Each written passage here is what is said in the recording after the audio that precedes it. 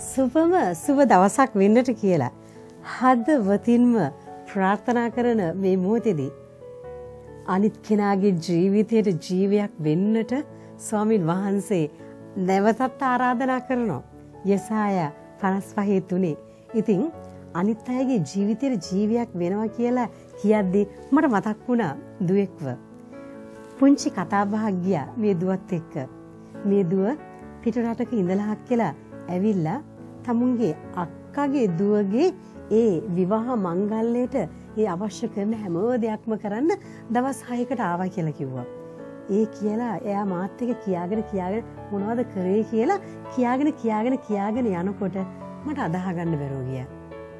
මෙහිමත් පුද්ගලයෝ ඇත්තටම අද සමාජයේ ඉන්නවද කියලා.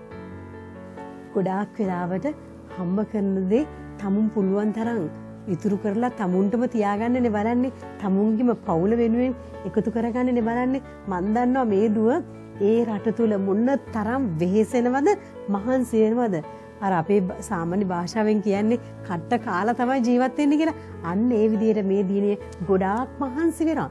මහන්සි වෙලා තමයි ඒ හම්බ කරන්නේ. හම්බ කරලා හක්කලා තමුන්ගේ අක්කගේ දීනිය වෙනුවෙන් වියදම් කරන්නට ඇය ඒ තක්කහනියක් රට ඉඳලා ඇවිල්ලා මේ දිනවල ඒ දීනේ ඒ දේවල් කරද්දි මට පුදුමා ගොඩක් දේවල් කියද්දි මං අන්තිමට සේරම අහගෙන ඉඳලා කියලා මං ඇයට කිව්වා ලස්සන දෙයක්.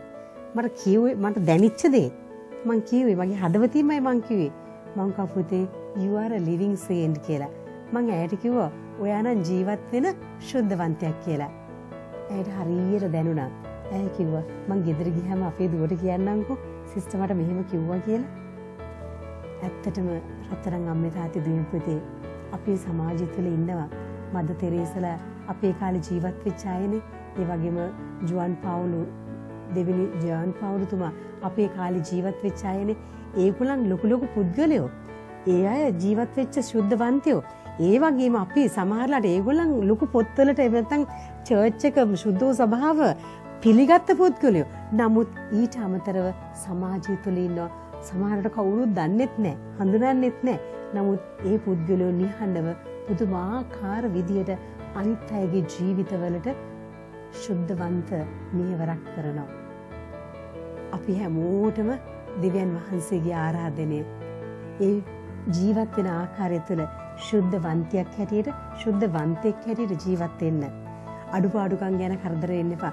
චූටි හරි අඩුපාඩුකමක් ඔබේ ජීවිතය තුළ තියෙනවා ඒ අඩුපාඩුකම් ඔබ කරන යහපත තුළ මැකිලා යනවා.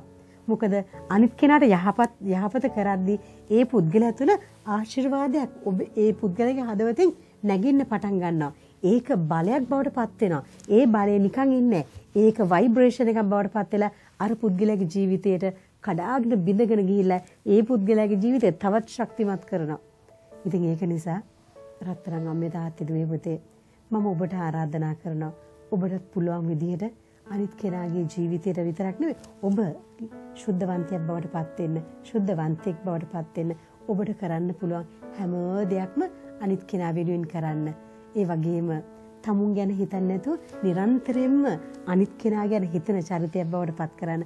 ඔබට ස්වාමින් වහන්සේ වරප්‍රසාද දෙන්නේ හම්බ කරන්න අවස්ථාව දෙන්නේ ඒක තනියම තියාගන්න නෙමෙයි ඒක බෙදා ගන්න.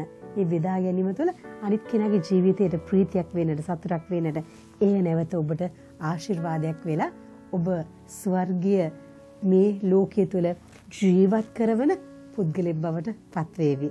එහෙනම් ඒ සඳහා ඔබ සියලු දෙනාටම ආරාධනා කරනවා ජයම ජය. ජේසුගෙන් පිහිටයි.